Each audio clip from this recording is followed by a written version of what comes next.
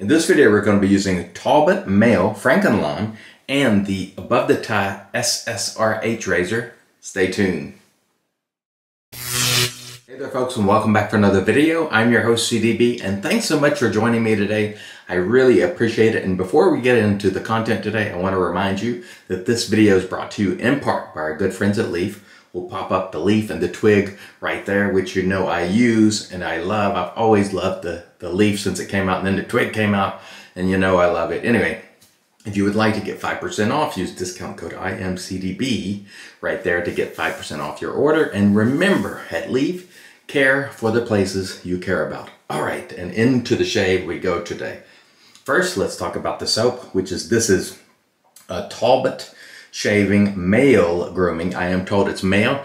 The Sean, I believe is his name, the gent from Maol, uh, sort of coached me up on that the other day. Thank you, Sean. And this has a very, very nice scent. And you know, Talbot, the quality of Talbot soap is quite good. I love the firmness of this base. This is not a soft and goopy base. It is quite firm to the touch. So you're going to get good value out of this. Even though it's $20 for four ounces, which is $5 an ounce on our cost chart. Because it's firm, I think the price is probably, it normally would be in the pricier range. I think it's at least fair because this base is firm. I like it a lot. And the scent on this, I wish it had a little more pop to it. Um, so for example, Seaforth Sea Spice Lime, it's like, hey, you want some of this? Blam! Citrus in your face, like it's in your face. This one is like, hey, hey, psst, psst, come on over here. Give me a whiff. It's good, right? It's good, right? You'd like a little more, wouldn't you? But no, no, no. But anyway, yes, uh, this is a nice scent. I call it slightly below medium. I like what I'm getting. I wish I got a little more of it because it's really good. I'm going to put the notes for you right here. We have frankincense, lime, pink grapefruit, orange, lemon, uh, lavender, rose, Really, really nice scent. So I expect to have an excellent shave from this today. And the ease of use was off the charts. I'll show you a picture or two of the lather there. It was very easy to work with, which is big for me. I really like soaps that lather easily and you don't have to spend all day or uh, you don't have to keep going back to the product to add more and more and more. So really nice. This is a tallow-based soap. We show you the ingredients right there. And again, um, I look forward to using this today. And Sean, uh, the gent at um, Maol said, hey, you should get the splash. I'm really proud of it. So I will definitely pick that up. So we're looking forward to it today. So today we're going to be using the Above the Tie. This is the SSRH razor. Now in September, um, Above the Tie raised their prices back up to 185 but that's just what they were 10 years ago. So it's not like much of an increase. It, was more like they took away the, the, the decrease. But anyway, this is the um, what I say it was SSRH. I think it's the SSRH. I forget sometimes with those uh, the way they label their razors, but anyway, there's a look at it. It is a nice razor. Above the Tie's been around about 10 years now. This is quite an efficient razor. 0.80 blade gap, but they rated it 8 out of 9 in aggression, so it's fairly efficient. But above the tie, they have the M plate, which is going to be on the mild side, the R, which is sort of the middle, and then the H, which is their most uh, efficient offering. And you know me, I have to do the old, what I call the Atlas. Uh, what do I call this? I don't even know what I call this. But anyway, the Atlas Twist. I just hold it in my hands and it'll just spin because of that barber pole knurling. I, I just like doing that. I'm easily entertained. What can I say? But anyway, above the tie, if you want to get 10% off your order, use IAMCDB right there. And uh, that's an affiliate link, so it helps the channel too. Uh, if you use it, but if you're going to buy an above the tie razor, you may as well save some money, especially since the price went back up to their original 185 which was originally what the premium razors cost. Now they're way above that. So above the tie, I would say still reasonably priced relative to other premium razor makers. Uh, stainless steel made in the USA. Uh, the, oh, the blade, let's, let's not forget about the blade. The blade today is the Sharp 7 o'clock and it says Swiss quality on there. I don't know if it's actually made in Switzerland, but it says Swiss quality. So we'll see. We'll see what that Swiss quality is about. And let's get into it. We're going to start by just misting the face. And this is just plain water. If you're new, I'm just wetting the face rather than splashing. Oh, bumping the camera there. That's never good.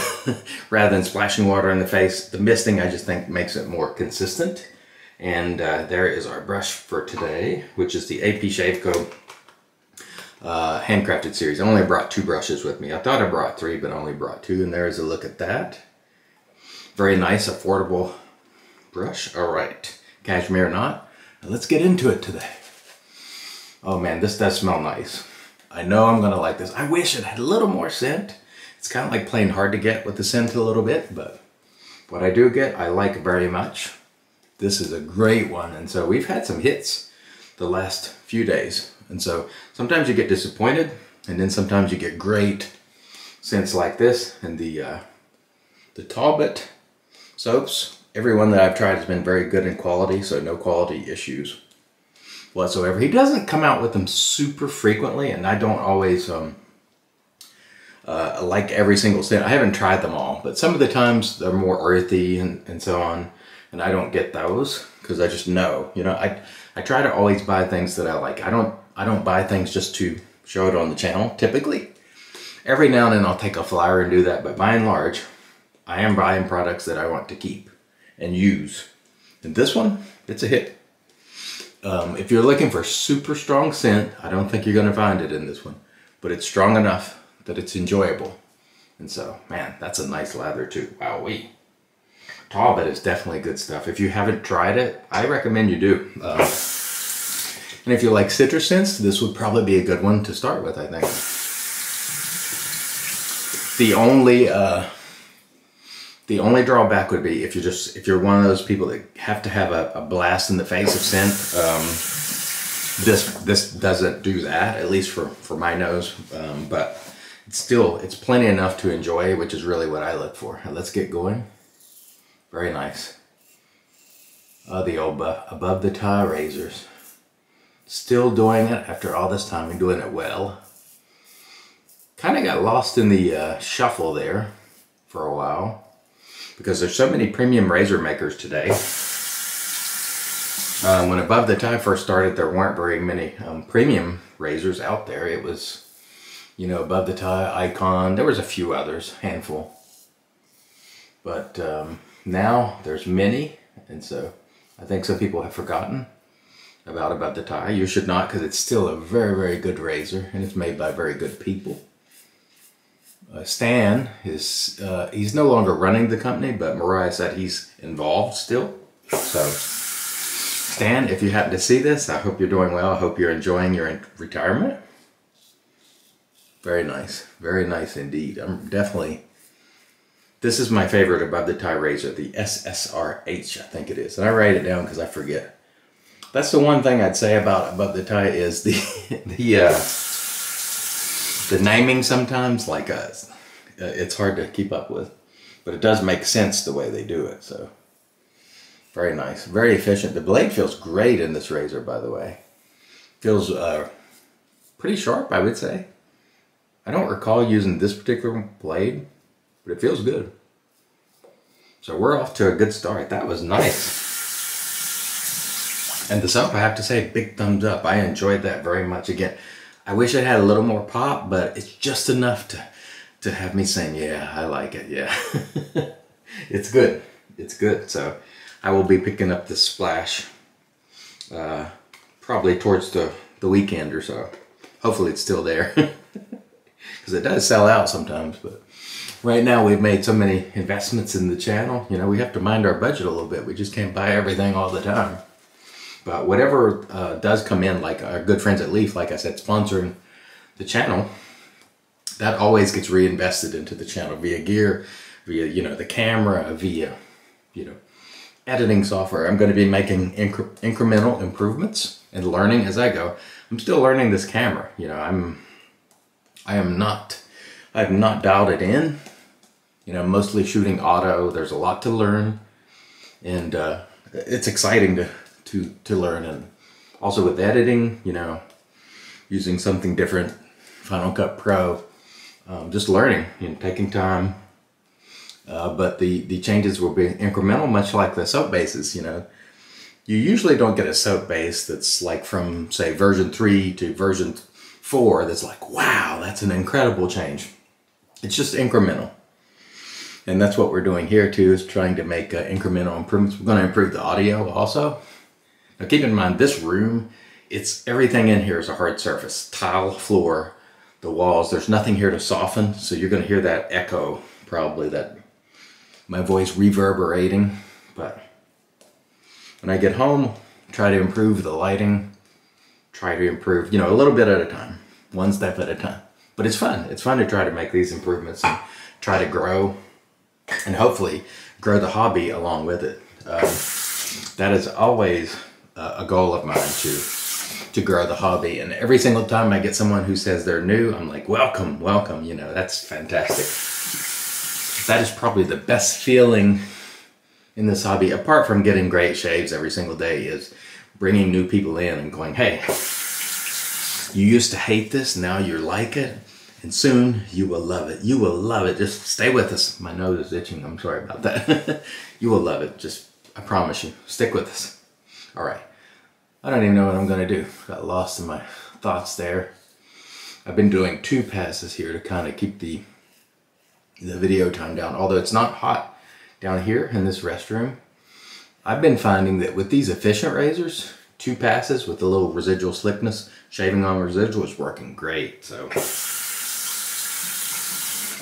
and as you can see there, the Talbot is rinsing perfectly clean from the razor. There's no sticking to that. So again, as we say pretty much every day, that's a indication of a nice hydrated lather. Very, very slick.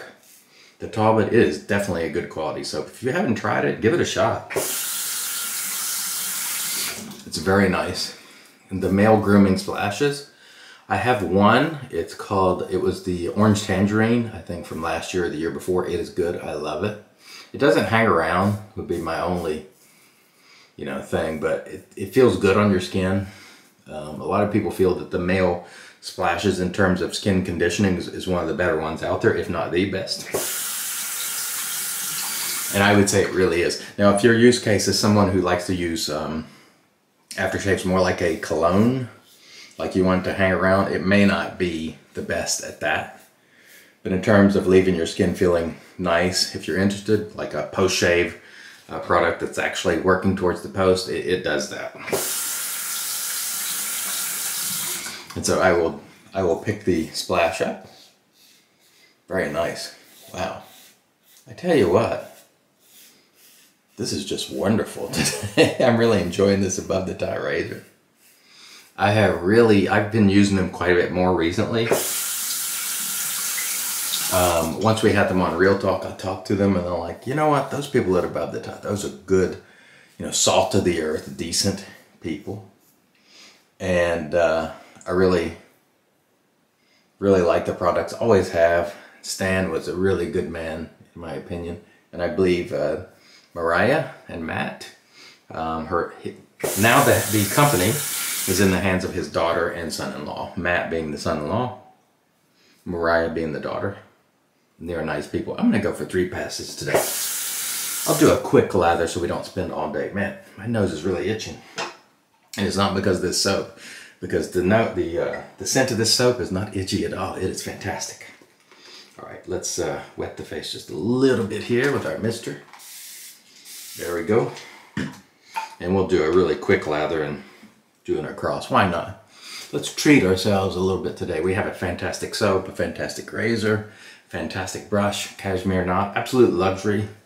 This feels like a pillow on your face. There's nothing harsh about it. And for me, when I'm shaving, I don't want anything rough. I want things to be smooth as silk all the time. If you have roughness when you're shaving, that's usually not good. You want to you don't want to put your face through more trauma than it needs because you're using a very sharp steel blade that's cutting right at, you know, your skin level. So there's no need to fatigue your skin more than it needs to be by scrubbing it really hard. Now, some people like that. If you like it, it's okay, but it's not essential is what I'm saying. And I think early on, when I first started, I thought it was essential to really scrub your face. And, and uh, I found, for me personally, that doing that scrubbing and exfoliating in the shower works far better than trying to do it with a soft shaving brush. Even if you have a brush with high backbone, you're probably not going to exfoliate that much, truth be told.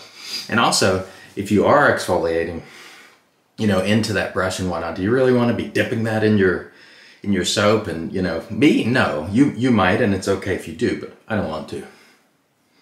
I like to keep my stuff clean and pristine, and I like to keep everything as tight as possible. Everything looking good. Man, that's just fantastic. Very nice. We won't do a long third pass here today. Excellent.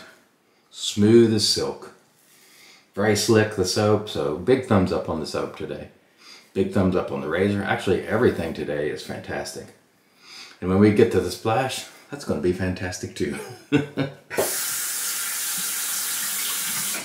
really awesome. And so if you need to go a little quicker, you can. As you can see here, I'm not taking all day on this pass. You know, we'll turn the razor around and then just do our cross pass very quickly.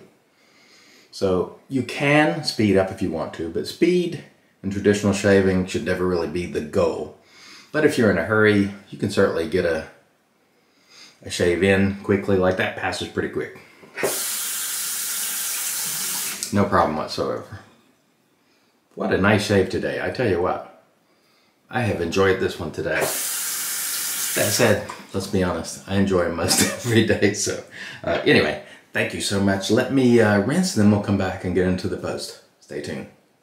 And all right, we are back in off cam. We did a warm water rinse to remove all the soap, and then we used our RazoRock alum, no stings. That was a super smooth shave, no nicks, cuts, creepers, weepers, irritation, bubbles, or troubles. And that's how we like to do it here. Uh, anyway, excellent shave, no burning from the alum. Following the alum, we did a cool water rinse, then we towed off with our Lancaster towel prior to using the Magic Made by Witches. This is Thayer's Witch Hazel Cucumber. Excellent shave today with Maol, Talbot Maol, Franken Lime, and I got this at the Razor Company.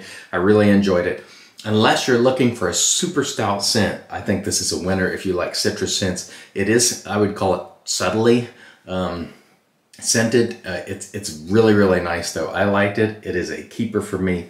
Big thumbs up and the quality, really, really good. I enjoyed that a lot.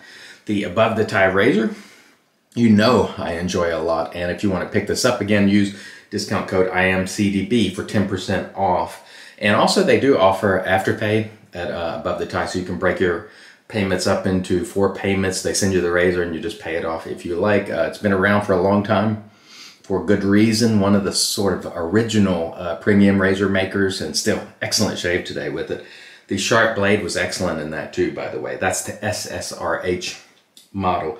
We also used our AP Shave Co. handcrafted series brush and our Lancaster Razor Works brush soaking mug, our Captain's Choice bowl, and we're gonna finish it off today with the precious Seaforth Sea Spice Lime. I still stand by my comment from earlier this year.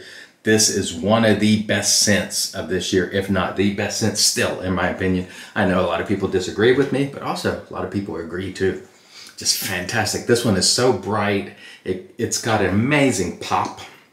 It's a phenomenal scent. Um, it's it's outstanding. Oh man, that's it's just so good. It's just so good. And this is very different from the from the Frankinlime in that it's like bam right in your face with the citrus. Oh man, I love it. What can I say? this is great stuff. If you haven't tried this yet and you are a fan of citrus, friggin' awesome. All right. Thanks so much for joining me today, folks. I really appreciate it. Hope to see you back here tomorrow. Until then, I've been your host, CDB, reminding you, it's your shave, do it your way. And as always, God bless.